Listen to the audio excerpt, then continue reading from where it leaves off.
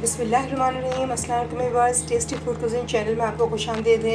आज मैं लाई हूँ प्लेन केक की रेसिपी जिसे बनाना बहुत ही आसान है और जो खाने में बहुत ही लजीज और मज़ेदार होता है और जो कि बहुत सी चीज़ों में यूज़ होता है। तो वीडियो को अंत तक देखिएगा। लाइक और शेयर ज़रूर कीजिएगा। चैनल में नए हैं तो सब्सक्राइब कर लें। तो चलाएँ रेसिपी स्टार्ट करते हैं। पहले एक बाउल में हम तीन अंडे लेंगे।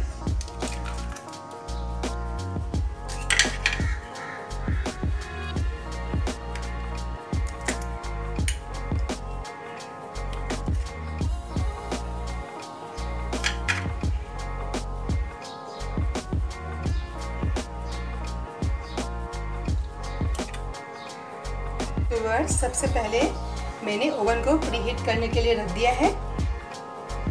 ये वन एंड ये एक चौथाई कप है ये। यानी ये सवा कप है, चीनी का, पिसी हुई चीनी है। ये हम इसमें डालूँगी।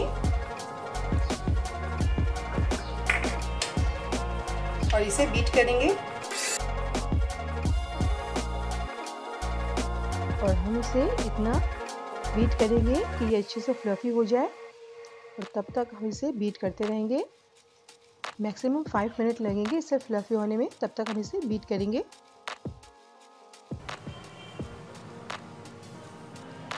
अब हम इसमें वन कप ऑयल ऐड करेंगे। ये वेजिटेबल ऑयल है।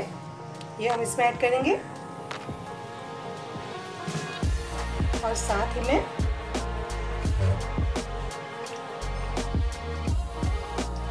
ड्रॉप्स हम ये वनीला एसेंस ऐड करेंगे।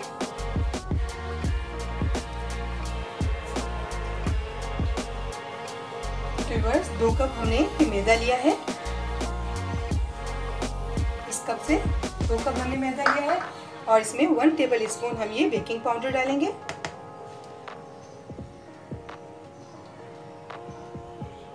और वन टेबल स्पून ये कस्टर्ड पाउडर है, ये डालेंगे।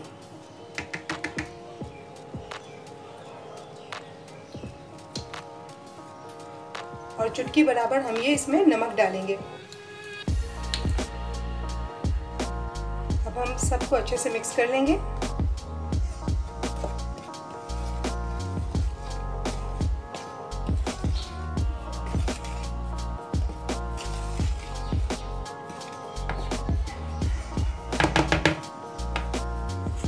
इसी के साथ ही हम ये मैदा इस पर डालते जाएँगे। एग वाले बैटर में और इसको आहिस्ता से फॉल करके हम इसको मिक्स करते जाएँगे।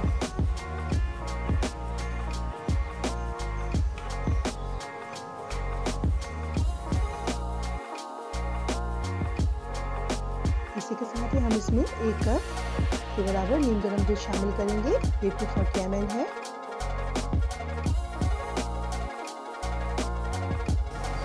तो व्यूअर्स हमने ट्रे को पहले से बटर पेपर लगाकर ग्रीसी करके रख दिया है। अब हम इसमें ये बैटर डालेंगे।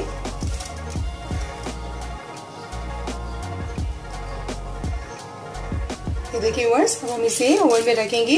130 सेंटीग्रेड पर और 25 टू 30 मिनट्स तक हम इसे बेक करेंगे।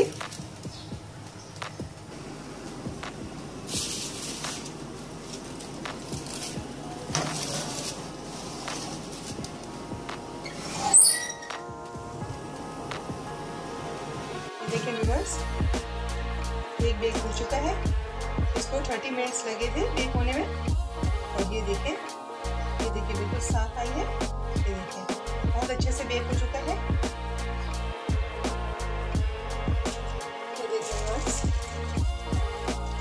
ही स्पंजी बना है और इतना सॉफ्ट है।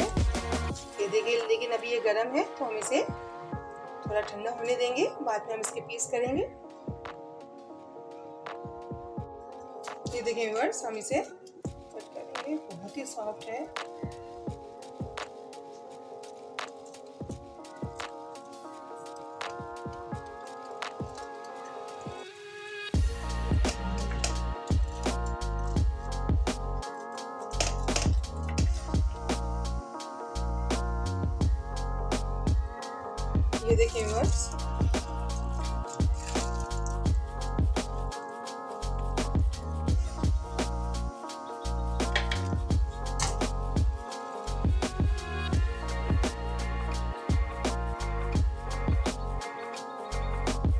स्पंजी और बहुत ही सॉफ्ट बना है। ये देखिए।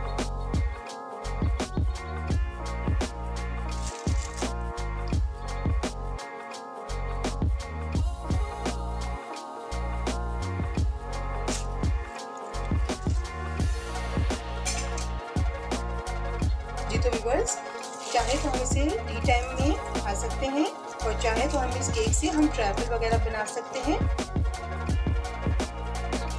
आपको मेरी रेसिपी कैसी लगी? उम्मीद है आपको पसंद आई होगी। तो व्यूवर्स उम्मीद है आप भी ज़रूर ट्राई करेंगे इसे। और अगर आपको मेरी रेसिपी पसंद आई हो तो प्लीज़ मेरे चैनल को लाइक कीजिए शेयर कीजिए और सब्सक्राइब कीजिए। और अपनी दुआ में याद रखिए। अल्लाह हाफिज़।